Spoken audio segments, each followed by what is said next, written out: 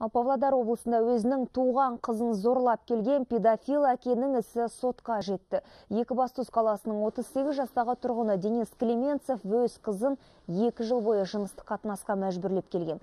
Көрсеткен зорлығын бейнет аспаға түсіріп ғаламторға жіберген арсыз әке сол арқылы баласын саудаға салып отырған. Интернеттің көмегімен кішкентай қызды зорлаған Екібастұз қаласының басқа тұрғыны да қазір тергеліп жатыр.